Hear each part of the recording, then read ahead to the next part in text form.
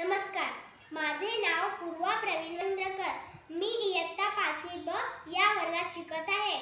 मी आज तुम्हाला पंधरा ऑगस्ट स्वातंत्र्य दिनानिमित्त दोन शब्द बोलणार आहे ते तुम्ही शांतपणे ऐकून घ्यावे ही माझी नम्र विनंती भारत माझा देश आहे सारे भारतीय माझे बांधव आहेत ही प्रतिज्ञा वाचताना माझा ऊर अभिमानाने भरून येतो भारत माझा भारत देश मला अतिशय प्रिय आहे भारत हा प्राचीन देश आहे. भारताला प्राचीन वैभवशाली इतिहास आहे. भा- एकेकाळी भारत देश सुवर्णभूमी म्हणून ओळखला जात असे.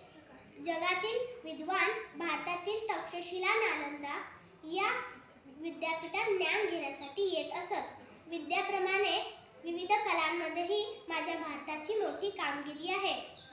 देश की मिट्टी का कण करणे जिने प्राण से प्यारा प्रणाम ऐसे वीरों को सौ सौ बार हमारा दे, भारत देश भारत हा जसा वीरांचा शूरांचा देश आहे तसाच तो संतांचाही देश आहे. येथे अनेक थोर समाजसुधारक व विचारवंतही होऊन गेले. या साऱ्यांनी भारतीय जनतेत उच्च उदात्त मूल्ये रुजवली. म्हणूनच अहिंसेच्या आणि सत्याग्रहाच्या मार्गाने भारताने आपले स्वातंत्र्य मिळवले. आजही माझा भारत सका सतत प्रगती करत आहे. या विशाल देशापुढे अनेक सदैव नैसर्गिक आणि मानवनिर्मित समस्या उभ्या राहतात पण भारतीय मोठ्या जिद्दीने त्यावर मात करतात.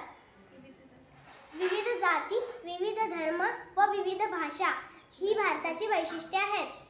पण तरी पण भारतीय एकत्र राहतात. क्वचितच काही समाजविघातक शक्ती भारतीयांचे ऐक्य व बंधुभाव नष्ट करण्याचा प्रयत्न करतात. पण भारताचे ऐक्य अबाधित राहणार.